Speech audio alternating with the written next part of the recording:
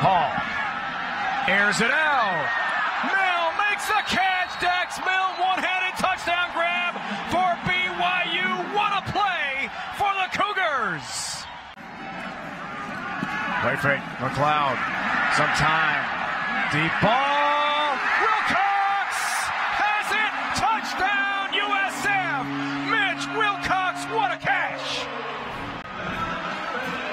Again, play action shots. You get the ball to your best player, your most explosive playmaker.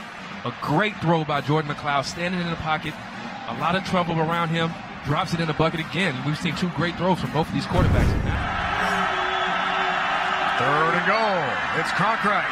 He navigates. He lunges. Looking to push the pile. Touchdown USF. He's in. Katoa featured back. The option look again. Hall. End zone touchdown BYU. Jaren Hall. Not one but two fakes. And he sprints to pay dirt. Six more for the Cougars from 29 yards out. Chance here for USF on first and goal. Joiner featured back. Fakes the pitch. McCloud keeps. End zone touchdown USF. Jordan McCloud is in. And the Bulls are back in business. The guard. Cronkrite on first and goal. We just called it. Touchdown USF. He's in. And the Bulls are in front